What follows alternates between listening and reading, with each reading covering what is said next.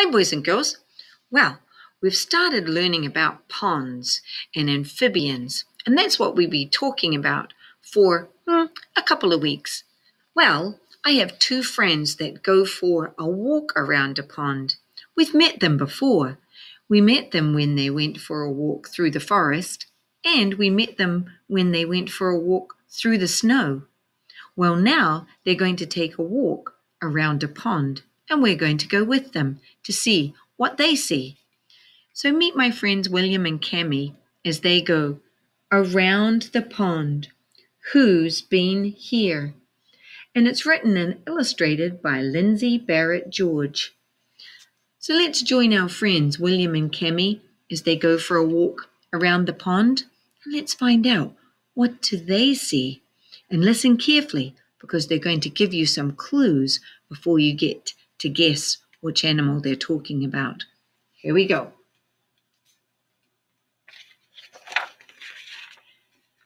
Cammy and her brother grab their berry containers and follow the old deer path that circles the pond. A dead sugar maple tree stands alone by the water's edge. White feathers are stuck to the bark around a hole. Who's been here? Hmm. So there are some white feathers stuck to the hole in a dead tree. Who do you think has been there? Two baby wood ducks. So wood ducks find holes in trees.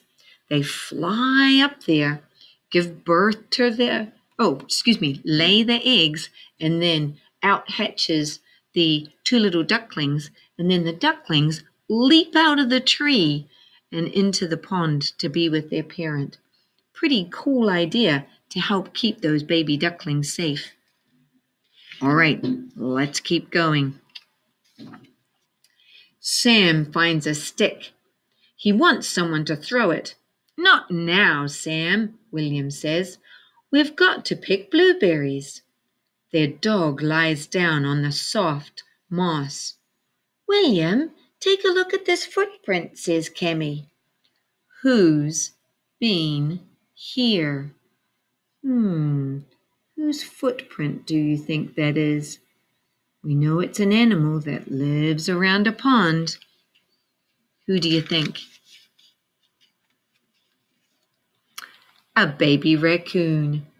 Raccoons like to wash their food, so they live near water, but not all. Some of them live in the city, but you know what? They'll still find a puddle or a bowl of water and give their food a good swishing. A tree has fallen across the path and into the pond. William dangles his feet in the water he sees a shallow crater on the sandy bottom. Who's been here? So, who do you think is going to make a sandy crater, a sandy dip in the bottom of a pond?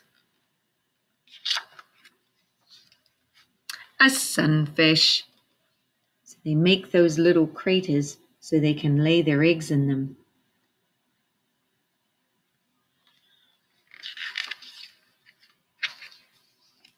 Cammy and William reach a patch of swamp azalea.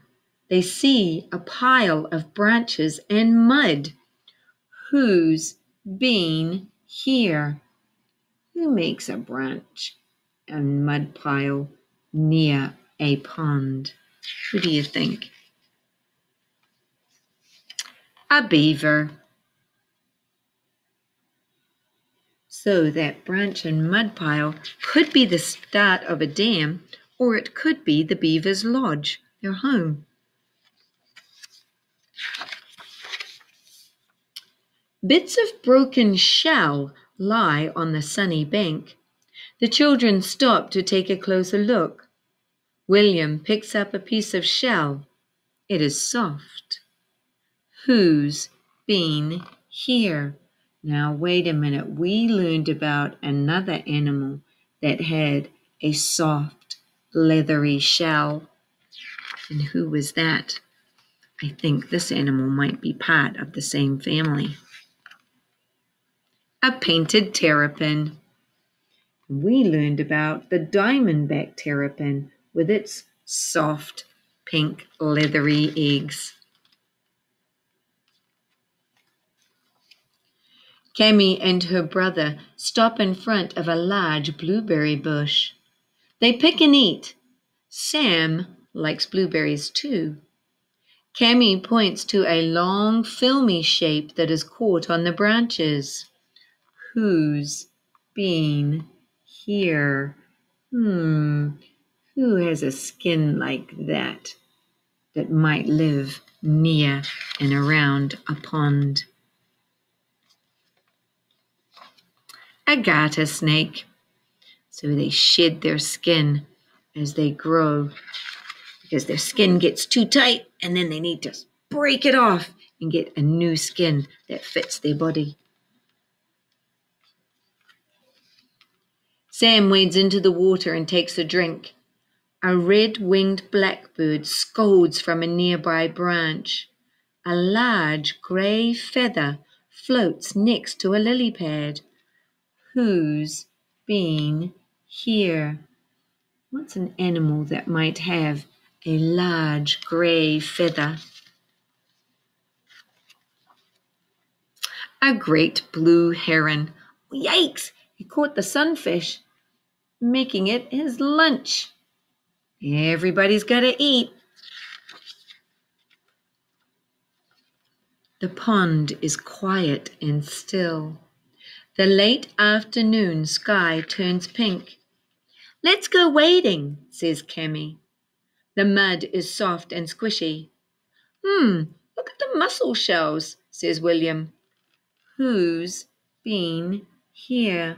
So, who might be an animal that eats mussels, breaks open the shell to eat the soft insides?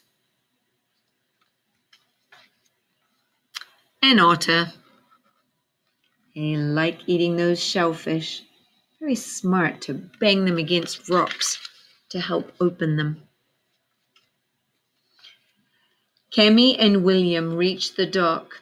They have eaten most of their blueberries. But look, two full pails of berries are waiting for them. Who's been here? They know.